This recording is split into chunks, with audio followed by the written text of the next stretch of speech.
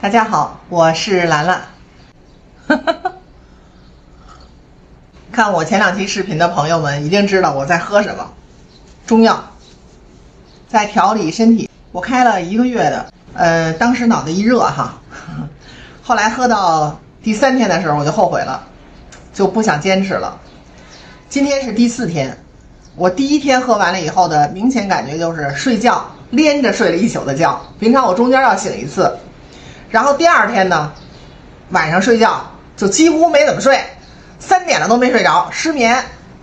因为啊，它这个里面啊有普洱，我第一天呢。这个就是熬药的时候忘了搁普洱了，因为我家里有嘛，所以我就开药时候没开，所以一包包分的时候就忘了搁了，所以第一天睡得很好。但是第二天呢，我想起来了，我就往里搁普洱了，结果一喝夜里睡不着了，因为我有一个习惯，就是不管喝咖啡呀还是喝茶，只要一沾就别想睡觉了，就特别敏感，就不知道为什么对好多东西特敏感，包括吃药也是，人家可能吃一星期哈。我一般吃个一次两次，马上就好，不知道怎么回事。然后呢，第三天呢，为什么说坚持不住？也有好多人问我，兰兰，你喝的什么药？告诉告诉我们。我说你别喝了，我不想喝了，太苦太难喝了。所以呢，就到第三天晚上的时候，我说干脆我量量血压吧。呃，就不敢量血压，也没工夫，也懒得量它，量也就那么回事儿。因为我以前量吧，我现在吃着降压药呢。呃，就是家族遗传嘛，没办法，身边所有的亲戚朋友，呃，不是亲戚家人啊，全是高血压，这遗传真是你没办法，你自己再怎么注意，我感觉也跑不了这遗传。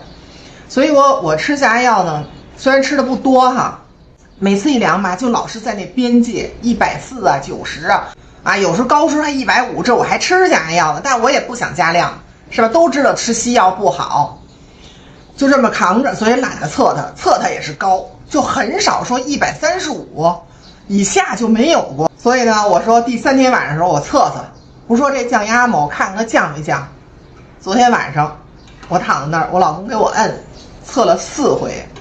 第一回可能你走叭一坐，你你可能还没有静下来心哈，反正就一百四高压，低压是八十多吧。第二、第三、第四全部高压啊，一百二十五，一百三。然后一百二十五，一百二十多，就全是一百三以下，低压肯定是正常了，我也没记。哎呦，我当时特别高兴，我说：“哎呦，这药还真见效了。”所以今天第四天我还接着喝，它虽然很苦，但是它已经哈感觉有效果了。嗨，你说有的人有有嗜好喝咖啡是吧？你要不会喝茶的人，苦不拉几的，咱也不懂，喝着有什么可喝的呀？但那个呢，都是一种嗜好哈，可以说。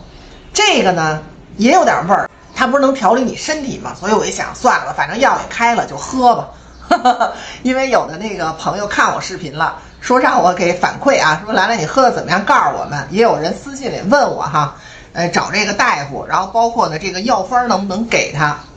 呃，还是那样啊，因为我后来见过那个大夫一次，又见了他了。他说他现在已经退休了，他现在在家学烹饪呢，因为他这是祖传的。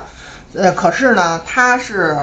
呃，吃亏在哪儿啊？他没有学历证书，他在一个单位的校医，就是，就是不不是校医啊，就是单位的医务室给人看病，也不是什么大医院的。所以他说呢，我一般不给陌生人看，我都是因为退休了嘛，我就给家里面的亲戚朋友看病。其实中药就那么几副，我觉得都差不多。中医大夫哈，现在都过关。您要想调理身体呢，你就上医院去。挂个中医，啊，都挺好的。我一般吧，就是一年当中哈，嗯，每年我都要调一次身体。不是说你有病了，你你才吃药，可能那会儿你都晚了。就这种保健的意识哈，应该加强，尤其是中药，吃一段时间，吃个一个月啊什么的，调一下，每年调一下，对身体特别有好处。而且我这两天吧，喝这药，明显的感觉就是吧，就是我原来一天吧老困，不知道为什么，我说是不是？春困秋乏夏打盹儿是秋天了，就老迷迷瞪瞪，一天就浑身没劲儿，然后就老想在那儿歪着，就不想动，然后一动就出一身的汗。可是我感觉这两天喝这药吧，哎，不困了，就老有精神，就觉得那个不像原来那么乏了啊。不知道是不是喝这药的缘故啊？可能我觉得还是有关系的。今天是第四天，我就跟大家汇报一下关于这个我吃这个药啊。如果你们有条件的话，哈，也去医院调理一下身体，呃，也花不了多少钱。我这药吧，一个月啊才三百多块钱，然后你要在医保啊什么的，自己就你想才花多少钱？没没多少钱，几十块钱。你要是一年，比如说你调一个月，你吃个三百多，自就哪怕你自费，它也是值的。就这样，好，汇报完毕。嗯 呃，那这期视频就到这儿啊，我们下期再见。